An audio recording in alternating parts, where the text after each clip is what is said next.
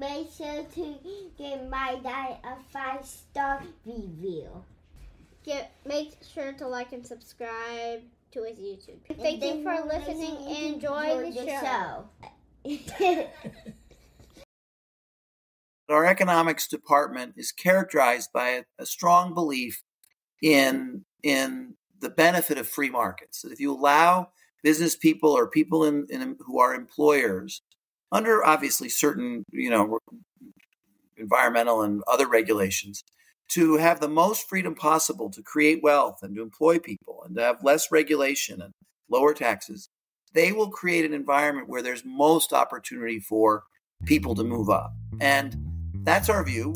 I happen to think we do have some issues right now with inflation. We have some issues with um, people who have a desire to work but don't necessarily have the skills that the workplace needs right now, and we need to work on those. But all in all, and you know, I don't, I'm not going to say who's responsible for it. All in all, the American economy is remarkably strong.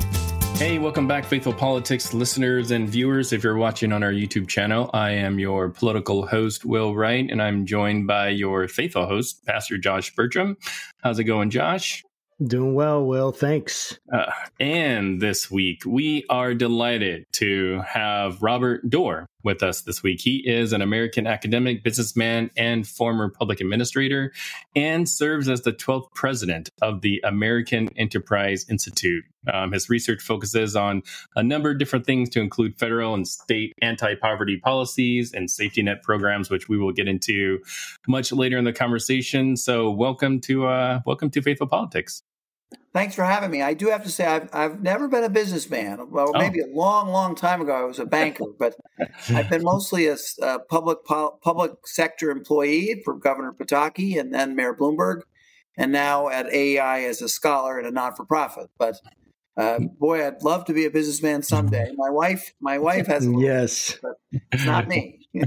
That's awesome. Well, uh, I, I I just have to say, AEI is one of those organizations that, as a liberal, um, I have a lot of respect for. Um, and I'm sure I'm I'm probably not alone in saying that. I mean, I I've been I've been sort of following AEI in the path um, since um, Arthur Brooks um, had the helm, and he's written a lot of really great books that I've read. so um, I really appreciate you know everything that you guys are doing over there. But but I but I'm curious, like, how does one become the president of AEI? Like, did you have to apply on Indeed or Monster or something like that?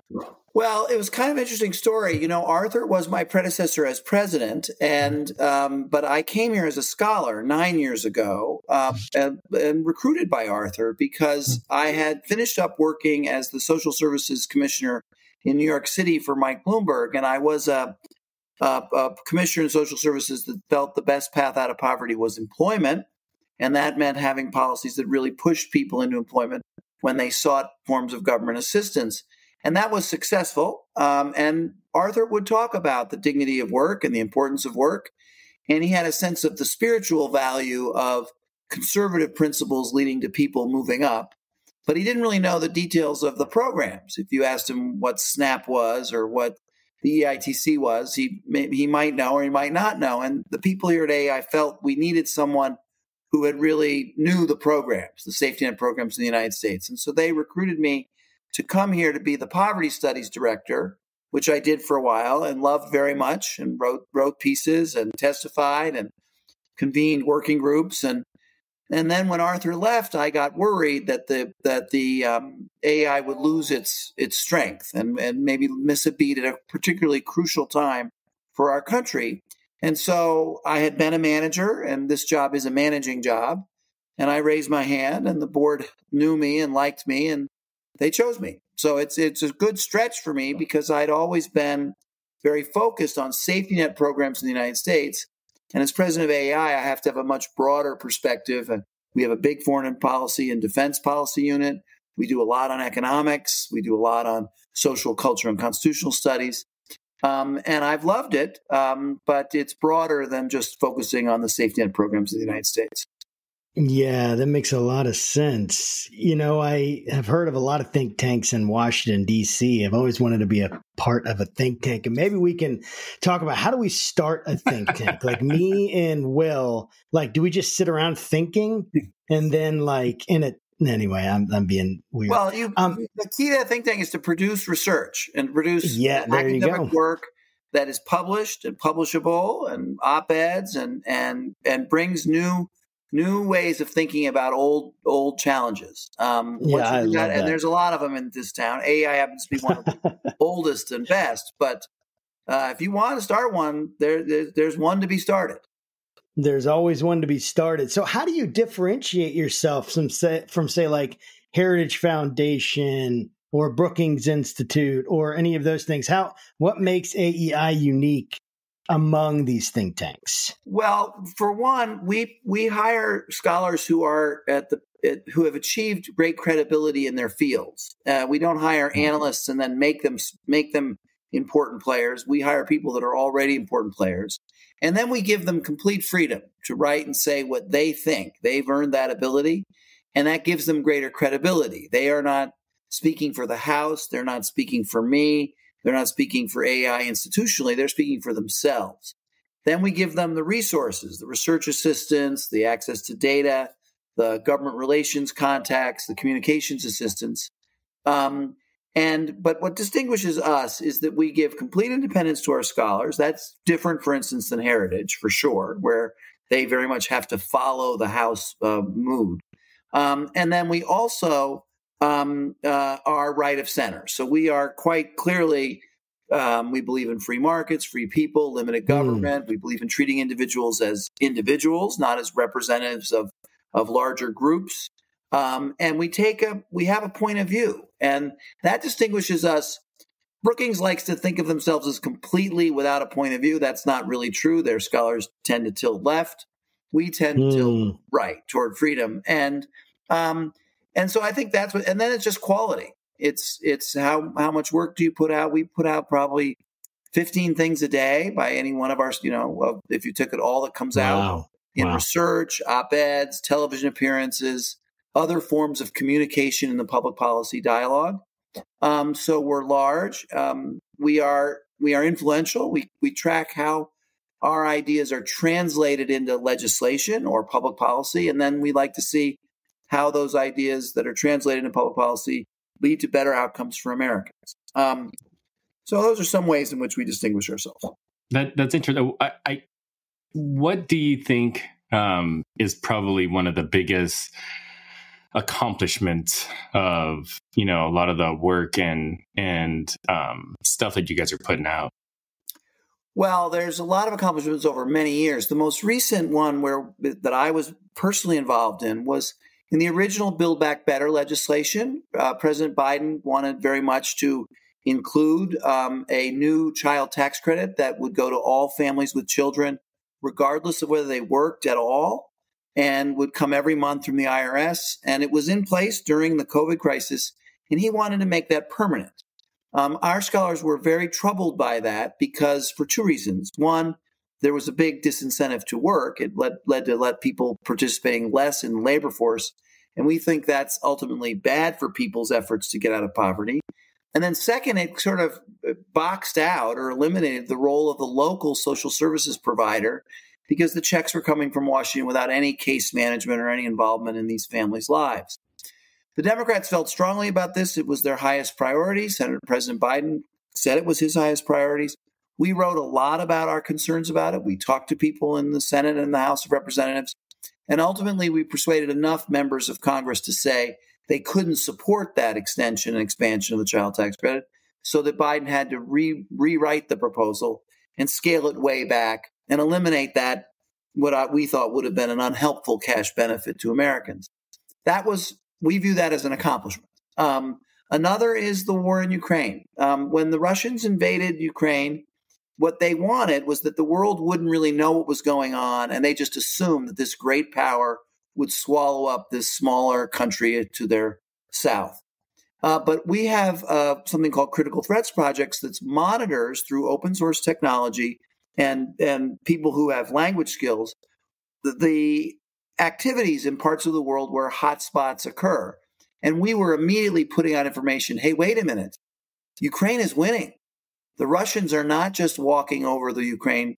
And, and that fortified the strength and the resolve of the people in Ukraine, the people in Western Europe, and the United States. And as a result, partly as a result of that information, we um, we've helped to rally the world in defense of the of the Ukrainian people against this um, invasion by their neighbor.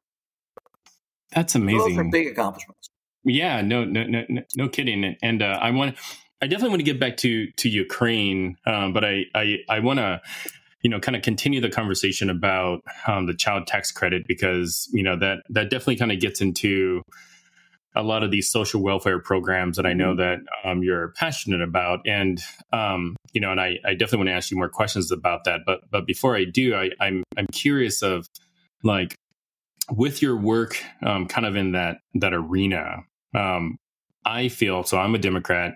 Um, Josh is a conservative, and um, you know, at least from my side, like we hear a lot of vilification um, that comes along with some of these social welfare programs. You know, there's this there's this belief that people that you know are on social security or are on you know um, ebt cards or what have you like like that they are just lazy and they don't want to work um, i i would guess probably by your you know experience and um, background in this you would probably say that might be true but for a small percentage of the population. Like, um, but but well, so, so I, look, I look at true when people do work. The what I normally say is we should require work, but we also should reward work. And in the programs, for instance, I ran the food stamp program in New York City. I ran the Medicaid program in New York City.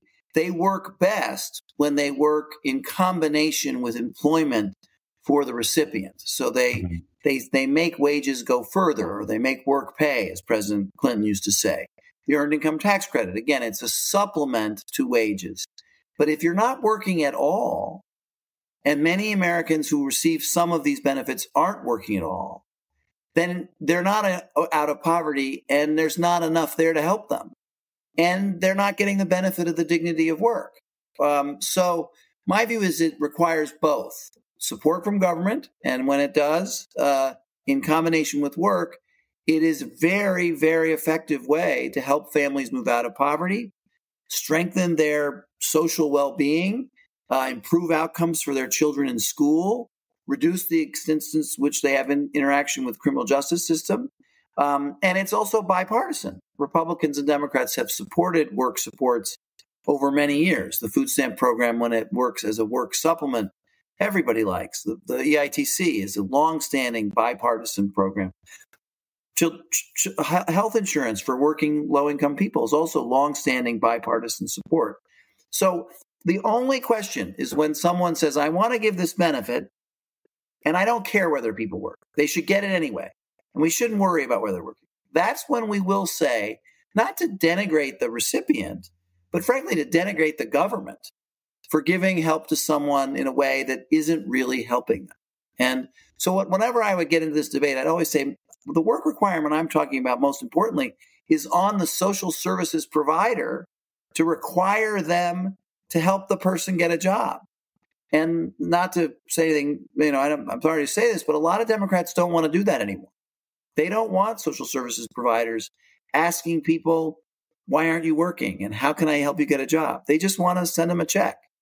And I, having worked in programs in very high poverty communities, feel that is very destructive. Yeah, it's almost like, um, and I I, I re- regret to say this. So if you're a veteran listening to this, don't don't um, don't cancel me. But like, so I'm a veteran and um, served in um, over Operation Iraqi Freedom One. Came back all kind of beat it up and bruised, um, and you know I collect um, disability from from the VA. Um, but I've got a lot of friends who are also um, veterans that have have made it almost a sport to kind of get to 100%. Um, and and I've long thought, you know, a, a, lot of that behavior is because the VA is, is rewarding your brokenness not, not like rewarding you getting better, you know, because if you told me, hey, if you took every opportunity to try to, you know, work with counselors and get over your PTSD, like that will incentivize you more than me just saying, yeah, give me my pills, you know? Um, and I, I'd imagine a lot of, a lot of what you're talking about is, is similar. Yes, and I admire that and completely agree with you about that. Um, and I work with the disability programs of the United States as well Social Security Administration, disability programs, veterans disability programs.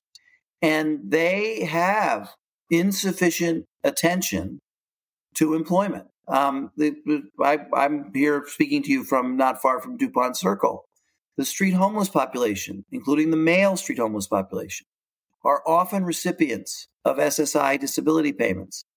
And those come with no expectation of case management or employment. And as a result, they're financing um, a, a really a difficult circumstance for that individual. And it, in my opinion, that's that's sad.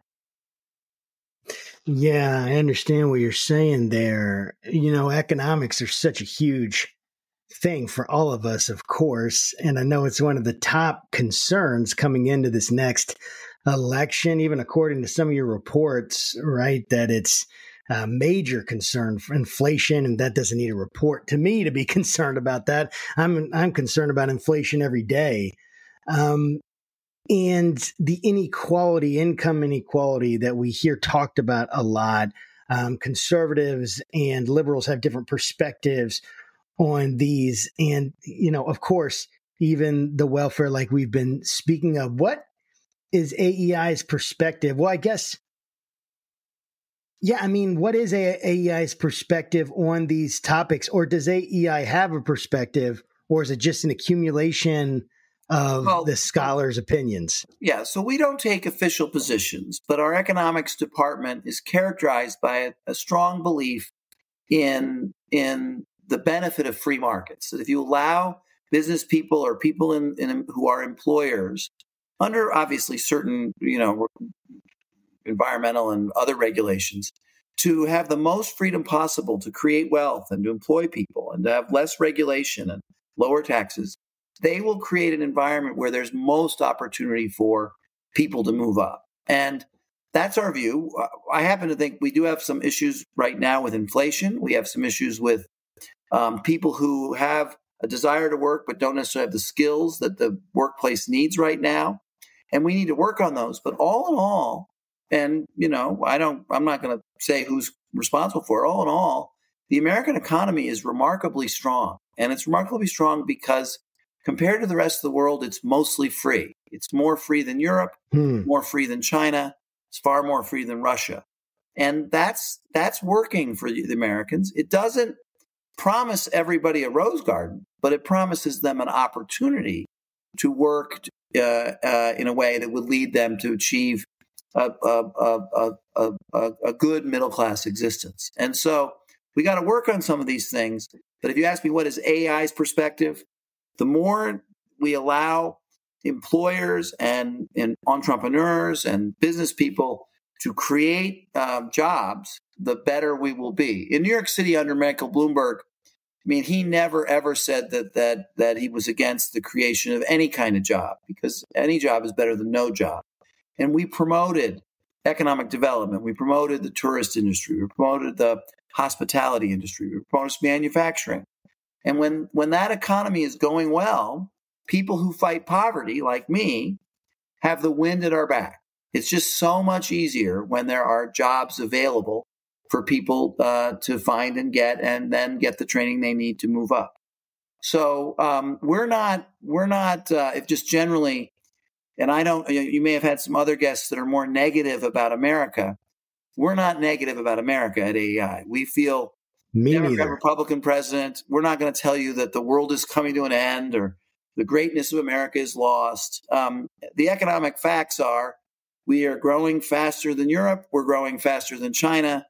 We're going to be the largest economy in the world, the most prosperous. There's a reason why people come from all over the world to the United States, people who are very poor. Do you know why they do that? Because we have the most opportunity and we have the greatest country in the world. And we just want to preserve that. That's awesome. Uh, can you talk about um, the the work that you guys do at the Center on Opportunity and Social Mobility? So when I came, I was the director of the Poverty Studies program, and the, the theme was how do we structure American public policy and not-for-profit world and the faith-based world to help people move up out of poverty. We feel that over the long term and looked at properly measured, we have through the combination of work and benefits, and, and benefits have played a role, and so has work, we have increased the material well-being of, of Americans at the bottom. So the challenge really isn't so much getting people above a minimum bo- a minimum standard of living. We've done that. The challenge is helping them move up, getting the skills and the abilities and the the, the experience to achieve a complete independence from any kind of government assistance. And so that they're if you're born at the bottom, you have a, a good chance, more than just a, a one in four chance or one in five chance, but maybe even a, a two in four chance or uh, to move up to the middle or all the way to the top. So we focus on ways to help people move up through education, through skills development, through employment, obviously, um, through better economic uh, environment in communities, um, and and through and by the way, through greater family formation. We happen to think that the number one divide in America between those who do well and those who do, don't do well is not race. Uh, it's not where you live. It's not urban, rural. It's not even income. It's are you raised in a household with two active and involved parents there for the long haul? And that usually happens in the United States under merit, in marriage. So we talk a lot about family too as being a key way to help people move up. And I should also mention we talk about faith. We talk about the benefits of faith based organizations in communities, and we talk about the benefits of religion to individuals to have a more uh, uh, flourishing life. And so all of those ingredients go into helping people move up. Man, that is so fascinating. So I've heard the statistic that if you want to stay out of poverty in America, not a statistic, kind of a um, a heuristic rather, that one you need to graduate high school, two you need to get married, and three you need to not have a baby out of wedlock. Yeah, that's is not, that fairly accurate? Yeah, that's a statistic. It's a it's a well known statistic, and it was done by my colleagues at Brookings about twelve years ago. We here at AEI oh, nice. promote that statistic because when we have it, we see a scholar at Heritage or Brookings or anywhere who does good work, and that's that that changes the conversation. We talk about it, and it is true. If you I love that. If you graduate from high school, get a job, and don't have a child until you're married, you'll be there's a 98% chance you will not you and your child will not be in poverty. It's pretty good. That is a really good uh, statistic. It's amazing how it sometimes we feel like we ignore that. But you know, when we're talking about families, oftentimes, you know, when we're at the dinner table or we're at Thanksgiving, the extended family, they come in, we talk about politics, we talk about religion, things get weird. This whole show is about talking about that because we want to help us ruin Thanksgiving dinner. That's yeah. our that's our uh, yeah. purpose. Like that's our official mission. So, um, my question though, one really controversial topic is uh, is climate change, and I say controversial because some people think it's not controversial. Some people think, oh, it's clear. Everyone just believes this. This is reality.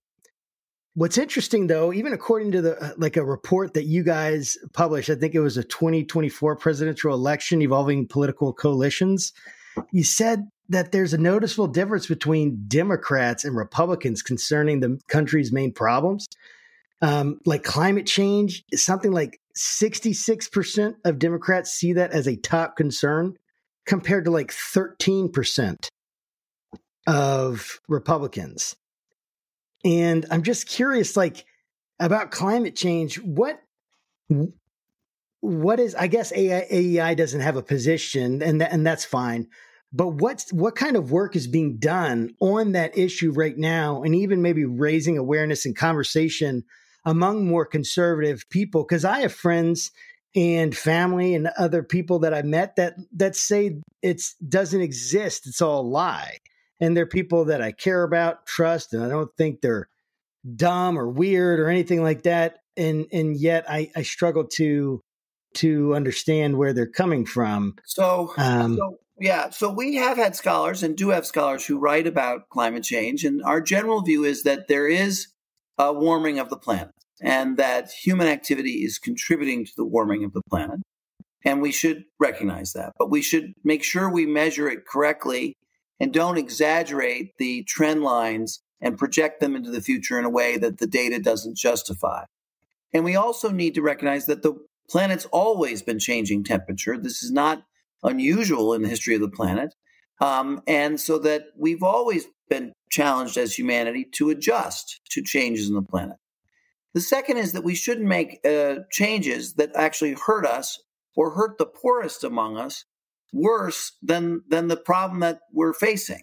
And there are some climate policies that would be very damaging mm, to the growth potential, especially of people in the southern hemisphere, in the poorer parts of the world, who haven't had the benefit of the economic development that we have. And we just can't do that to, to places that need running water or need electricity or need power eh, that where they haven't had it more than they need to be to be stopped because we're trying to stop a long-term climate change. So we think there's some aspect of the rhetoric about climate change that comes from people that are think it's a real catastrophe that has the potential to be very harmful to people, especially the most vulnerable people in the world. Um, and then finally, we don't turn our backs on on. We think there's an element of the climate change argument or the people who support more aggressive action on climate change that just is contradictory. So, for instance, if you really cared about climate change, you would support the the production of nuclear power. It's clean, doesn't contribute to Hmm. climate uh, change, and we should do that. Oddly, people that are worried about climate change won't agree to help us develop more nuclear power. That makes no sense to us. That's like hypocritical. Um, Yeah. Similarly, we create a we have, you should know every day we're creating more and more power through solar and wind. It's all great, but you know what solar and wind power has to do? It has to get to the customer. Do you know how it gets to the customer? Through power lines. Do you know who prevents the creation of new power lines so we can take this clean energy and get it to the customer? Climate activists and environmental activists that don't let like any kind of development. And we find that just preposterous. And so the business Yes. of, of facing up to people who use the language of climate change or excessive radical environmentalism or uh, to stop the, the the creation of of power lines that can take clean energy and get it to the customer. To me, to us, that's crazy. So we have a scholar, Jim Coleman, who's a law professor at the University of Minnesota. He's also affiliated with us. He's the foremost expert on that, and he's always writing about if you care about climate, you've got to also care about building the power lines that get clean energy to the to the customer. I guess I would just say one other. The United States oil and gas industry produces oil and gas in the cleanest way in the world. We should promote American energy producers who do it right and do it in a clean way, not run around the world and get other energy oil companies, oil producing countries to produce more of their oil in a dirty way for some weird reason because we don't allow it here, but we like it over there. That makes no sense to us. Yeah. Yeah. I, I, I, I'm sensitive and I would say sensitive isn't the right word, but I'm, I'm definitely appreciative of your arguments and I'm sympathetic to them is the word I was looking for. Uh, to your arguments, definitely uh, agree with basically most of everything you said. Um, I'm I'm wondering about the vulnerable people idea because one of the things I hear all the time in my conversations with parishioners, with congregants, with friends, with people online, liberal, especially in the liberal camp, Mhm. is that um, climate change, we're disproportionately affecting the poor by not handling climate change because uh, climate change is disproportionately affecting the poor and especially the global south. And you had mentioned some policies that are being pushed forward that actually even exacerbate that problem. And they're supposed to be climate change policies. Could you elaborate on some of those? Because it seems like the very thing that they are saying, you're saying, no, Well, we're trying to make sure the poor are not I think- disproportionately I think, first affected. of all, I think there is some truth to the fact, and this is true in a lot of things, that if there are if there is a um, consequence for humanity of climate change, it's likely to hurt the poorest among us the worst. When bad things happen, those who are poorest ha- suffer the most. It's just a reality. And so I acknowledge that. What I was trying to say was, however, was that if you limit the production of traditional energy sources in an effort to reduce climate change, you may actually be harming the ability of poorer parts of the world to do the basic kind of development of electricity that is fundamental to a flourishing community that they just haven't had yet. That's Right. number one. And I think that's generally accepted. People know that we don't want to do things to stop the development of energy that prevents our ability to feed the the, the truly uh, hungry in the world or or allow for uh, people to be um, Sure. have the, the energy they need to live a normal life or a, a 20th century life. So that's all I was saying. But I do acknowledge that that that when climate change hits, there may be parts of the world that um, are very poor and are going to suffer consequence, and we should be concerned about that. I don't deny that. We should keep an eye out on that. The only last thing I'll just say is that the change in in in the production of of um, of of energy that that causes climate change has been quite remarkable in the in the west in the United States and in the, the developed world. Um, but if we really want to make progress in reducing the growth in the, the the rise in temperatures in the planet, we're going to have to get some help from Mm. China and Africa and South Yeah, America For in sure. the way in which they generate energy. But we don't want to do it in a way that hurts their people more than the benefit of reducing the rate of increase in in in the temperature of the world. Makes sense. Yeah, you know, um, e even though I'm a liberal, I'm I'm I'm very pro nuclear. Um, I I had a I had a chance to to visit, you know, one of the largest uranium depots in the country, um, and speak with some of the folks that that work at at that facility, and um, you know, w- w- the, the the individual I was talking to was saying, "Yeah, I don't understand why you know more people in your camp, you know, don't don't support nuclear." I'm like, I don't know either, uh, because I was like, like we have so many regulations in this country that, Yeah, that it, yeah. it would it would almost have to take like an act of sabotage uh, to you know um, have the same thing happen here as it happens you know overseas, and even still like the the occurrence is fairly low. I mean, you know, catastrophic, but still like on a on a Mhm. broader scale, Yeah. fairly low. But um, so so yeah, you're you're you're, uh, you're in good company at least with this with this particular liberal um, about that issue. um, but I I I, I, want to talk about U- Ukraine. Um, so. I mean, now it's I don't know a year, year and a half. I can't remember exactly how Mhm. long the the conflict's been going on. But um, talk to me ab- about the conflict. I mean, you know, I would say most people of sound body and mind would say it's unfortunate what Russia's trying to do. Um, America is really in a position to kind of unite the rest of the world around this common cause. If Russia is able to fully take over Ukraine, that's that's bad news bears for the entire globe. Um, but but t- talk to me a little bit more about about you know th- the work you guys are doing to kind of keep that conversation going and and what you know what um, research are you guys contributing to kind of help um, help the Ukrainians?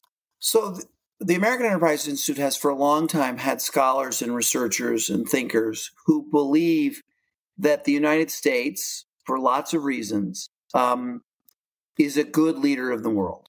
We believe that we can be a a, a influence and force uh, to help uh, people that struggle, to help advance freedom, to advance independence, to protect small countries from being bullied by large countries, and to protect the free exchange of goods and services around the world. So we we we take our responsibility as this great country um, to help the world seriously, and we think when we don't get involved in problems around the world, those problems get worse, and then our involvement has to become much more significant, and our own security becomes at risk. So as we see what's happened in Ukraine, we see a bully country, a totalitarian, authoritarian country, a country that doesn't respect people's freedom, doesn't have a democracy, um, invading an independent country that was striving for freedom and, and independence and had achieved it. And um, that upsets the peace of the world. And, and we feel that, that we should respond in a way that is helpful. Now, we have so, so we have supported the bipartisan lots of Republicans, lots of Democrats, a Democratic president, a Republican head of the uh, Senate, Republican head of the of the of the House, investment of of military uh, might and and financial support to help Ukraine defend itself against Russia, and it's been very effective. I mean, no one predicted that Ukraine would have done as well as it's done in this fight against a much mm-hmm. larger country that was su- supposedly, you know, almost a superpower. And partly that's because they're fighting for what's right. Their soldiers are motivated. Their soldiers care about what they're doing. The Russian soldiers are um, lost and and unhappy and rebelling and not fighting. And so, um, you know, we just think it's it's it's a worthy cause to protect the peace in the world. If we, I took a, a delegation of scholars and and um, and friends of ours over to Poland. If you talk to the Poles or the Germans or the Swedes or the Finland fin, Finns, they believe that if Russia is allowed to do this, they will do it to them. And we need to prevent that to the extent that we can. Now, the line appears to be that we'll help in every way we can, but we won't use American soldiers. Americans are reluctant to um, uh, shed blood in conflicts around the world. That seems like a, a burden yeah. too much, a, a price too high to pay to help somebody else. We want Ukraine to defend Ukraine with our help, and that's what's happening. Um, I ha- it happens that I have a son who is stationed in Germany as second lieutenant and is training Ukrainian soldiers in certain certain techniques, and I think that's um, appropriate and acceptable. Um, we've rallied the United Kingdom, we've rallied France, we rallied Germany. This is a worldwide effort to prevent Russia from doing this. Um, but it's a fight and it's sad. And, but the blame is with the Russians. The blame is with Putin, and um, we hmm. we shouldn't let him get away with it.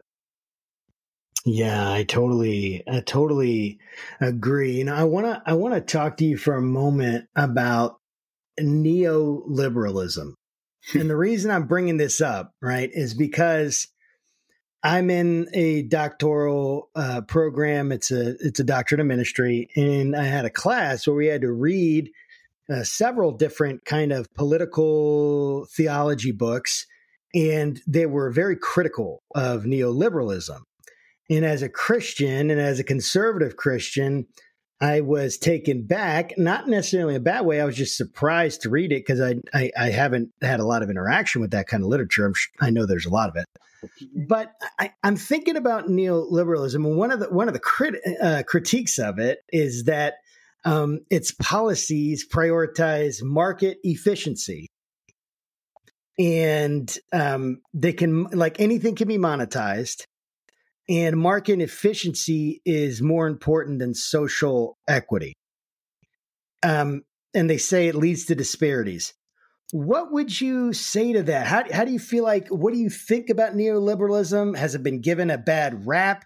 Maybe even, maybe even, you know, uh, just give a brief summary of what it is, um, and then how is it? How, how can you like? W- what is AEI stance and and on so, this? Will, and Will, this is very much an internal conservative battle, uh, and so this is.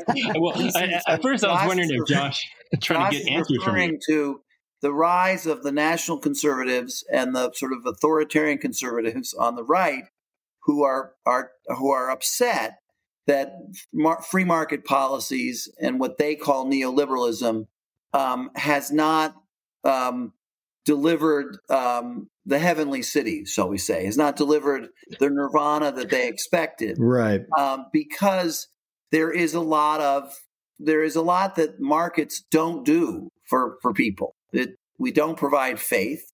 We don't provide a path to uh, that kind of greater good uh, sensibility. Um, uh, we do other things in markets. We allow great freedom. We generate income. We give people opportunity. We think we raise standards of living.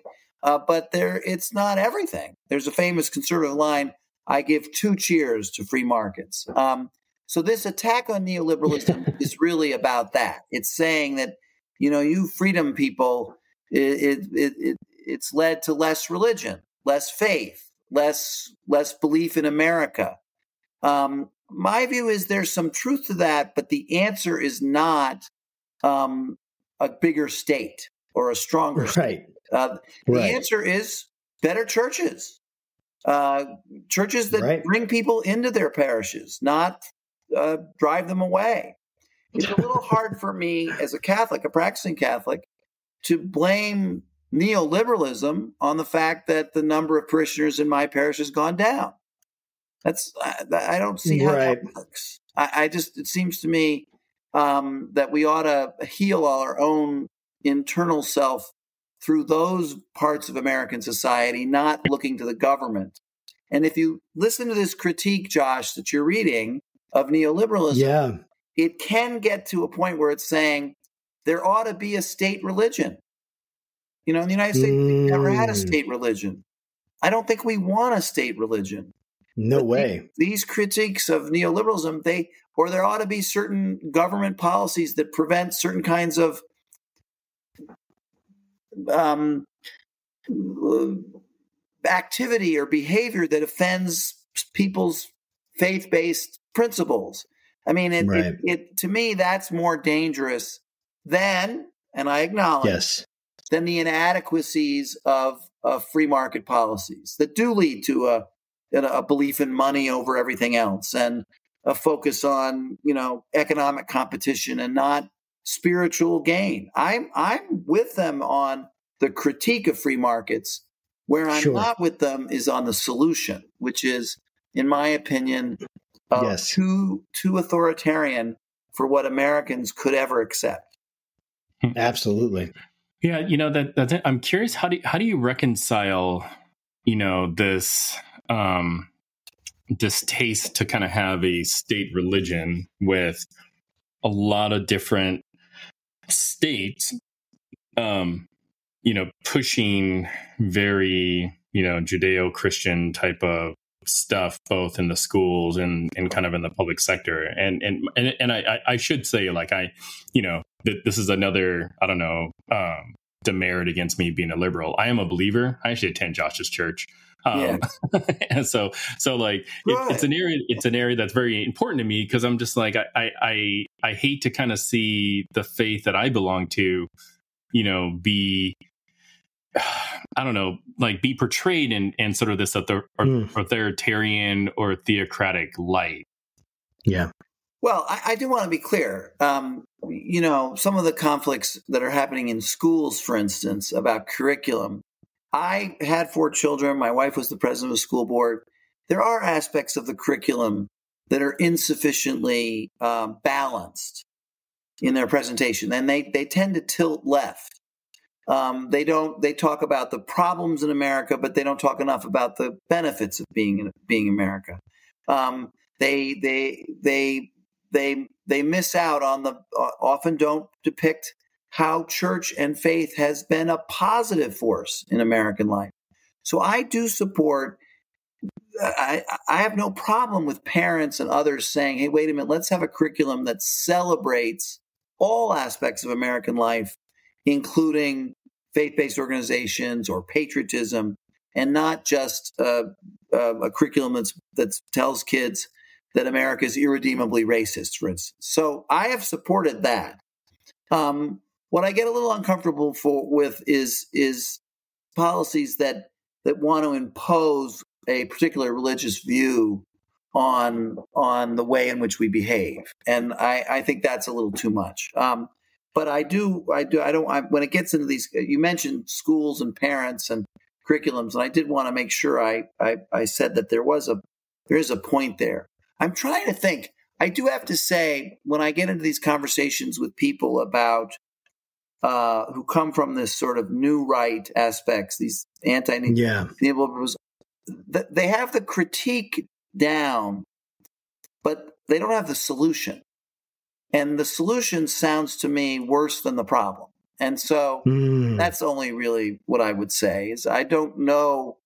I'm trying to think of I mean, for instance, I, I guess sometimes it comes out where on the court, for instance, and, and Josh, I don't know what your view on this. The court has allowed us to decide the abortion question on a state by state basis. They've said the Constitution right. does not say one way or the other. It says, let this be decided by the states.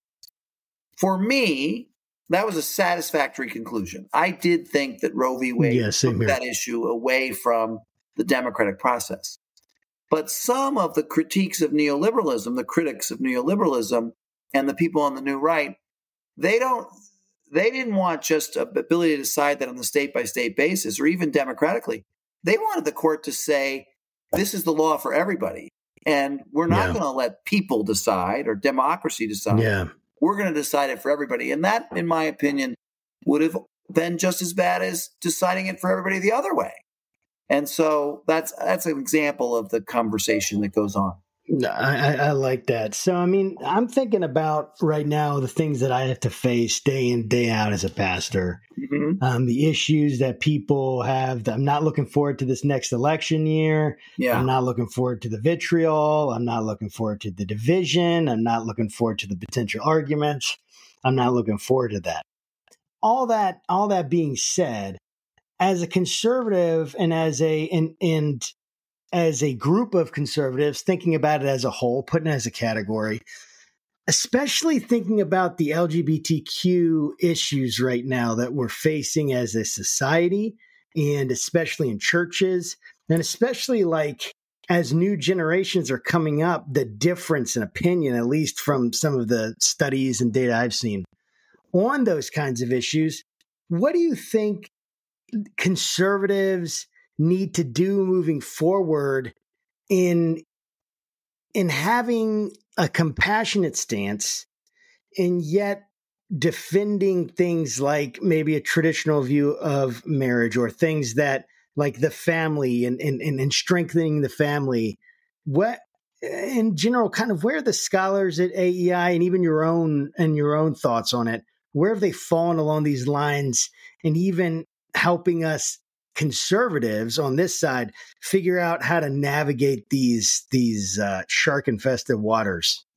So on marriage, our scholars are filled with rhetoric about the facts that marriage benefits the partners and it benefits children and it benefits society. There's just so much evidence that uh, the institution of marriage is enormously beneficial to communities and to people and to children. And so we're unabashed about that. We're not afraid. People that go to college and get a degree and have high incomes, they're much more likely to get married. And we think we should pra- preach what we practice. We shouldn't be afraid to say, this has worked for us. It will work for all of us. And we should be honest about that. That doesn't, and we should have policies in the government that, that don't discourage marriage. We should have tax policies that disadvantage somebody that gets married economically. That doesn't, but we shouldn't have, I don't think we should have marriage requirements or things like that for various things, but we should definitely not have policies that make it economically harder to form a family than it is to stay single and apart. So that's one that we're willing to talk about in terms of outcomes for children. Um, on issues concerning um, um, gender and and um, um, sexual preference, uh, my own view is the least the government is involved in it, the better. Um, but I would say that that we at AEI, there are some scholars that are that are not afraid to say a couple things. One, we shouldn't allow people to capitalize on the normal confusion of childhood. Children, you were a child once, I was a child once, my children, it's it's you're not always you don't always see the world exactly right. You're you're learning. You're confused, and I think that confusion is natural and it's acceptable. And I think in some of these dialogues about what's happening with kids is when they show confusion, adults rush in and say, "Well, th- then maybe you want to be a maybe you're a girl and you want to be a boy." And I think we should stand back and let the child develop naturally and tolerate the normal tensions and confusions that happen with children and not do more harm than good in trying to address that. And on, for some people, a big issue in America right now is um, biological boys or men participating in women's sports. My own view is that's a matter of fairness. Boys and girls are different. Men and women are different biologically. Women's sports um, is is a different game than than men's sports, and when you allow men to participate in women's sports, you're you're allowing an, a person who has a big advantage over their fellow competitors, and it it upsets the fairness. And my own view is, and I've got scholars that say this, is we shouldn't we shouldn't upset the fairness of sports in high school or college by allowing men to compete in women's sports. So those are some ideas that we say. We're, we don't. People can do what they want, but we ought to have certain rules or guidelines about the way we approach these issues. Um, so uh, that, that, gives you a sense of what AEI scholars say. I'd, we don't have an institutional position, uh, uh, but sure. giving you a sense of what our scholars say. Yeah, like how do you, um, with all the scholars you have there, how do you how do you herd the cats with all, the different like Very you know, collabor- collaboration and all the interdisciplinary research? I mean like how so do you we love collaboration and we love interaction and we love sharing of data and we love the debate. That's what we hmm. really love. When i wake up in the morning and i've got two scholars who are published on the same topic and they're taking different positions i celebrate. So we like that. It doesn't really bother us. We don't if i try to herd the cats i'd be fired. We're not um, other think tank presidents herd the cat. um, we don't do that. We like the cacophony and the freedom and the competition of ideas. That's what America is is great because of, and we try to replicate that here at AEI. So I don't I don't try to hurt the cats. You know, I'm. It's so interesting. Even just, I, I want to return to the previous question um, that I had asked just because I had had a thought and then I knew Will was asking a question, so I was going to let him and wait. And then, but what is so? You know, this idea I've heard it several times. Why is the government even interested in marriage? Just, I had a gr- really close, a really close loved one say when this was back in like 2016 or be even before 2015 with Obergefell and he's like, "Hey, just who cares? Just, just push it to like no government. They shouldn't have any involvement in marriage." What do you think about that? Do you feel like the government should have involvement with marriage? Should the government have a place in defining marriage? Is that the government's job? Well, I have to say, as someone who worked for a government in New York City under Mayor Bloomberg, a middle of the road, maybe even a, a, a liberal, um, we were we were not afraid to encourage marriage and to put posters up that gave you that statistic right. you mentioned earlier uh, about the chances of avoiding poverty and how marriage played a role in that. Um, we don't think we should have policies that discourage marriage because people are worse off economically through tax or benefit policies by being married. But I don't think you can do much more than those two. You can encourage and promote and tell the data about, but you can't mandate marriage. Um, you know, I think, um, and that's you know, and my own personal view of the of the um, of the gay marriage debate is that um, for someone who spent a lot of time trying to promote marriage among families of men and women for the benefit of their children, the idea that this this group of other Americans who were saying marriage is great, we should support it, that added that helped my argument. I I, I embraced that thought because they were right. Um, so I, you know, um, the the the my own, again, it's a constitutional issue. Should that be right. decided by state legislators? Maybe the court took that out of the state legislatures. They ruled that uh, gay marriage um, uh, should be permitted uh, is a right. So at least that's how I see it. So I, you know, I I think you can say some things, and to walk away from it entirely would be a mistake because it has a societal benefit. But you have to be careful about mandating people's personal behavior in a way that's inconsistent with freedom. Um, so this is our, our last question. Um, and I'm I'm looking for you to um, maybe give us a hopeful message oh, I mean, you love America, I love America, Josh loves America. You know, we've got our warts, but it's it's our country, right? So it's like we we we love it only the way an American can. So, um, you know, currently we have, um, you know, a president, a president's son, and a former president all being investigated by a special counsel. You know, we have a former president with a number of indictments. Um, like like like what what's happening to our country and So, what what I'm yeah. really glad, Will, you asked that question. Um, I'm very hopeful about America, mainly because of my knowledge of American history. We are a divided country. We've always had divisions.